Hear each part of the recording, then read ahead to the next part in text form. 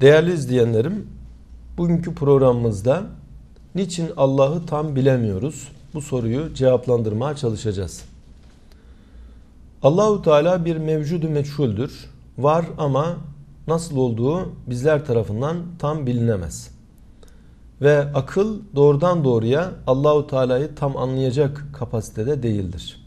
Nasıl ki göz her şeyi göremiyor.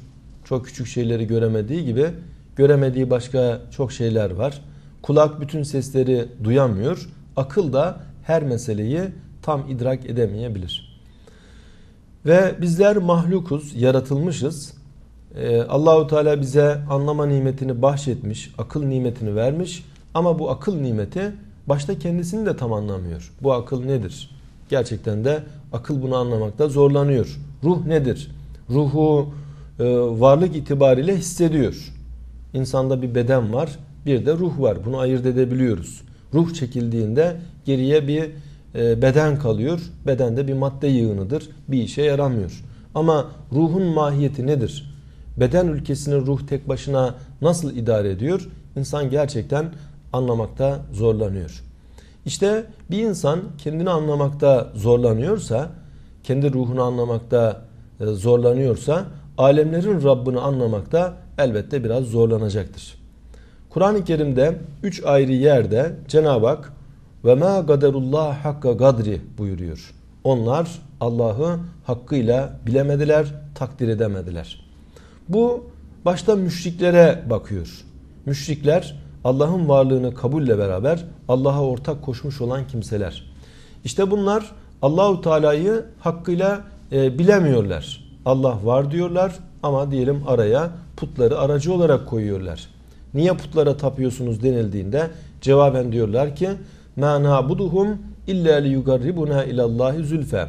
Biz bu putlara bizi Allah'a yaklaştırsınlar diye tapıyoruz.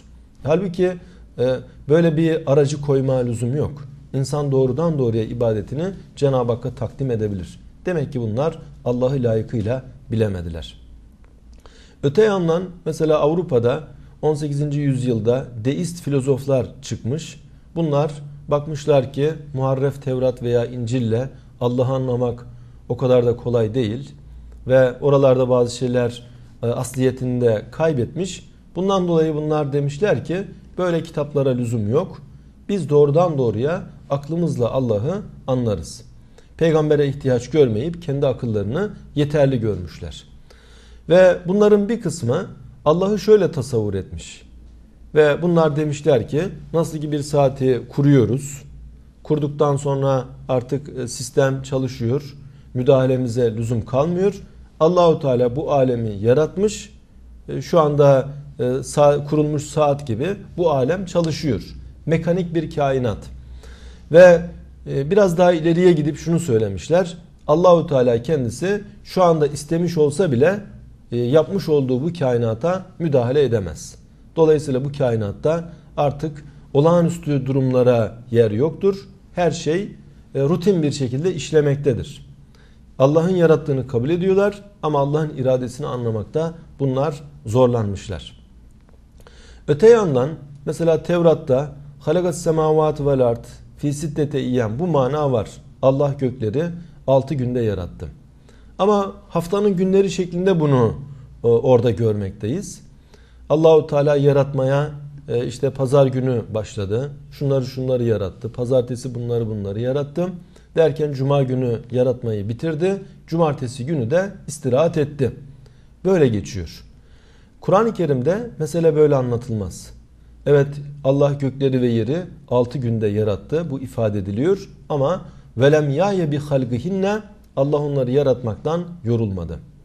Dolayısıyla Tevrat'ı okuyan birisi e, yapmayı bitirdikten sonra bir nevi yorulan bir Allah kabul ediyor. E, ama Kur'an-ı Kerim'de Allah kendini böyle anlatmıyor. Allah yorulmaktan münezzehtir. La ta'khuzuhu sinetun ve la nevm. Ayetel Kürsi'yi okurken biz böyle ifade ediyoruz. E, Kur'an'dan okuyarak bu manayı düşünüyoruz. Yani ne bir uyku ne bir uyuklama Cenab-ı Hakk'a arız olamaz. Bütün gökler, bütün yerler Cenab-ı Hakk'ın kabzayı tasarrufundadır. Ama Allah e, zatı itibariyle nasıldır? O noktada biz çok da ileriye gidemeyiz. Nasıl ki gündüz vakti görülen bütün aydınlığın güneşten olduğunu anlarız. Bunu anlamak çok da zor değildir. Ama güneş nasıl? Çıplak gözle güneşi görmeye, anlamaya çalışırsak gözümüz bir miktar sonra kamaşır, hiçbir şey görmez hale gelir. Benzeri bir şekilde şu alemde gördüğümüz bütün varlıkların Allah tarafından yaratıldığını biliriz ama Allah nasıldır? E o noktada çok da fazla ileriye gidemeyiz. Allahu Teala'yı en iyi bilen Peygamberimiz Aleyhisselatü Vesselam'dır. Miraca mazhar olmuştur. Cenab-ı Hakk'ın çok özel ikramlarına, inayetlerine mazhar olmuştur. Bununla beraber miraca mazhar olan Peygamberimiz Cenab-ı Hakk'ı tavsif ederken şöyle demiştir. Subhaneke ma arafnake hakka marifetke ya maruf. Allah'ım seni tenzih ederiz. Biz seni layıkıyla bilemedik. Kur'an-ı Kerim şöyle bildiriyor. La tudrikuhul ebsar ve huve yudrikul ebsar. Gözler onu idrak edemez. O ise gözleri de idrak eder. Demek ki e, insanlar bu gözleriyle Cenab-ı Hakk'ı tam idrak edemeyecekler. Rüyetullah'a bile mazhar olduklarında Allah'ı yine tam idrak edemeyecekler. Cenab-ı Hak tabir yerindeyse ihata edilmekten, tam anlamıyla bilinmekten münezzeh. Ama Allahu Teala'yı tam bilmediğimizi bilmek yine bu da bir idraktır. Hazreti Ebu Bekir'e nispet edilen şöyle bir ifade var. El aczu anil idraki idrakün. Yani Allah'ı idrak ede, edemeyeceğimizi bilmek, bundan aciz olduğumuzu bilmek, Cenab-ı Hakk'ı bir derece bilmek demektir. Burada belki Hazreti Ali'nin radıyallahu anh bir sözüne de yer vermemizde fayda var. Ee, Hazreti Ali şöyle demiş. Eğer e, perde-i gayb açılsa yakinim artmayacak. Lev küşifel gıta'u mezdettu yakinen. Perde-i gayb açılsa yakinim artmayacak diyor. E burada acaba e, Hazreti Ali e, artık marifetullah'ın son noktasına mı geldi? Gidebileceği artık başka bir nokta yok mu? Bu anlamda herhalde anlamamak lazım. Bu cümleyi şu tarz değerlendirirsek daha makul olacaktır. Yani imanında bir şüphesi yok. Allah'ın varlığında, Kur'an'da bildirdiği şekliyle sıfatlarında Hazreti Ali'nin hiçbir şüphesi yok. O noktadan bunu söylüyor. Yani perde de gözümden kaldırılsa ben zaten öyle inanıyordum. İnancımda herhangi bir değişiklik olmayacak.